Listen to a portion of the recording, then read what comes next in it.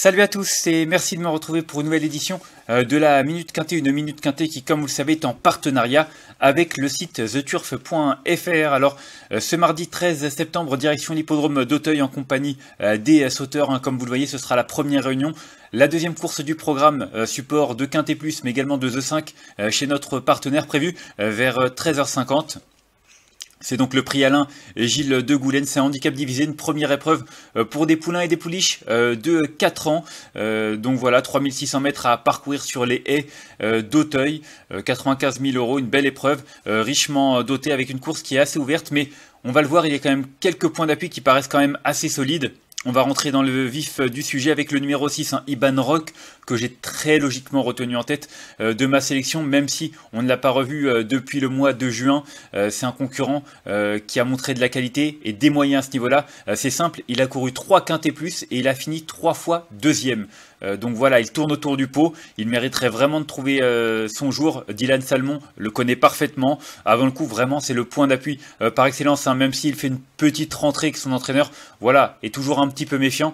J'ai envie de vous dire que vu ce qu'il a montré, ça ne m'inquiète pas, c'est un poulain de 4 ans, ça doit se préparer vite à cet âge-là. Donc voilà, avant le coup, c'est vraiment euh, le concurrent qui présente le plus de garanties et j'espère vraiment euh, qu'il va trouver son jour. Ensuite, en deuxième position, j'ai retenu le numéro 13, un Rock'n'Roll. C'était vraiment un choix entre les deux. Euh, j'ai longtemps hésité. Rock'n'Roll a remporté un handicap sur ce parcours euh, durant le printemps. Euh, depuis, il a couru deux fois, hein. vous le voyez par rapport à certains de ses concurrents. Lui, il a couru cet été. D'ailleurs, il reste sur une deuxième place dans un quintet sur l'hippodrome de Clairefontaine.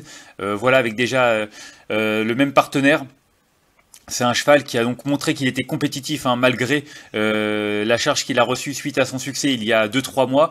Et euh, voilà, il a l'aptitude à ce parcours. Euh, c'est un pensionnaire de Michael Serror qui fait preuve de régularité, qui n'a jamais déçu dans cette catégorie. Voilà, avant le coup, lui aussi, c'est un point d'appui solide. C'est vrai que c'est difficile d'aller contre sa candidature. Et avant le coup, je pense qu'il devrait lui aussi monter sur le podium et lutter pour la victoire.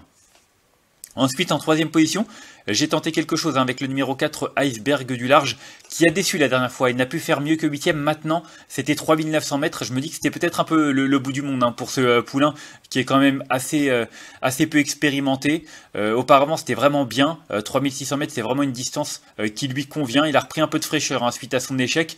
Et je trouve vraiment que malgré les 69 kilos, il a sans doute une belle carte à jouer. Et je m'en méfie vraiment tout particulièrement. Ensuite, en quatrième position, j'ai retenu l'As, hein, Spirit of the Moon, euh, que certains auraient peut-être même retenu euh, bien plus haut. Il vient de faire une bonne rentrée euh, dans cette catégorie. Il était cinquième. C'est un concurrent qui l'an passé a remporté son handicap dû justement sur l'hippodrome d'Auteuil. Hein, sur ce parcours, derrière, il a tenté sa chance en terminant quatrième d'un groupe 3. Un cheval de qualité. Maintenant, il a 71 kilos. Alors, vous me direz 71 kilos, c'est beaucoup, mais il y en a qui l'ont déjà fait. 3600 mètres, c'est peut-être un peu moins rédhibitoire sur cette distance, d'autant que le terrain est encore assez correct. Hein. C'est vrai qu'on n'est pas encore dans l'arrière-saison. Euh, il n'y a pas encore eu non plus les très grosses pluies. On n'est pas à l'automne. Donc voilà, je me dis que 71 kg sur ce, sur ce tracé, 3600 mètres, ça peut peut-être le faire pour la victoire. Ça va être un peu compliqué parce que je trouve quand même qu'il est bien chargé. Euh, mais bon, euh, c'est un concurrent. S'il affiche des progrès sur sa rentrée, il est vraiment capable de réaliser une belle performance. Ensuite, en cinquième position, j'ai retenu le numéro 12, euh, Il est beau euh, de Well, le numéro 12 que vous voyez euh, ici qui reste sur une quatrième place. Hein. C'était un, handicap, c'était un, un, quintet plus. Regardez, c'était du côté de Clairefontaine derrière Rock'n'Roll. C'est un concurrent euh, qui a l'air de progresser au fil de ses sorties, vous le voyez. C'était vraiment pas transcendant au tout début. Maintenant, il a l'avant-dernière fois gagné sur l'hippodrome de Vichy et il a confirmé hein, euh, pour ses premiers pas dans les quintés plus la dernière fois. Donc voilà, il revient à Auteuil où il n'a pu réellement se montrer convaincant lorsqu'il y a couru. Maintenant, il a progressé là-dessus. Je pense que c'est un poulain perfectible euh, qui a quand même un bel avenir à ce niveau de compétition. Arnaud Chaillet-Chaillet présente deux concurrents. Je pense que des deux, c'est celui qui a le plus de moyens. Et euh, avant le coup, je m'en méfie tout particulièrement. Et je l'ai retenu donc cinquième. Ensuite, en sixième position, j'ai retenu le numéro 5, Pearl Tree. Vous le voyez, c'est une concurrente. L'année dernière, elle a couru en plat. Elle a fini euh, sa carrière en plat par des, courses à réclamer. Euh, derrière, elle a changé d'horizon. Et euh, vous le voyez, depuis qu'elle a tenté sa chance sur les obstacles, ça se passe très très bien, notamment en haie. La dernière fois, c'était vraiment très très bien. Elle a repris un peu de fraîcheur elle, également. c'était sur l'hippodrome d'Auteuil déjà. Une concurrente qui a voilà qui a montré des moyens et euh, qui je pense est capable également de, lutter euh, pour les belles places hein, dans cette euh, compétition. Vous le voyez elle fait toutes ses courses. Elle a repris de la fraîcheur comme pas mal de ses concurrents. Elle a fait l'impasse sur l'été. Je m'en méfie. Je pense que d'entrée de jeu elle est capable de jouer un très bon rôle Ensuite, en septième position, j'ai retenu le deuxième partant euh, d'Arnaud Chaillet-Chaillet. Vous le voyez, un cheval euh, qui est en forme, euh, qui a bien couru hein, le, mois dernier sur l'hippodrome de Clairefontaine. Lui va faire ses premiers pas dans les handicaps, mais sur les obstacles. Il a couru handicap en plat l'année dernière. C'était assez correct. Et c'est vrai que vu ce qu'il a montré en obstacle, j'ai l'impression qu'il a vraiment une certaine marge de, de progression pardon, et une certaine marge de manœuvre dans cette catégorie. Donc attention, ce numéro 9, Joshua Spirit. il est peut-être pour la victoire. Hein. Il y a peut-être des concurrents qui lui sont un peu supérieurs en valeur, mais je m'en méfie pour une place. Et enfin, en huitième position, j'ai retenu le numéro 7, Imperial Mag. Euh, difficile un petit peu euh, de savoir euh, dans quel état de forme il va se présenter maintenant. C'est un concurrent qui n'a jamais déçu.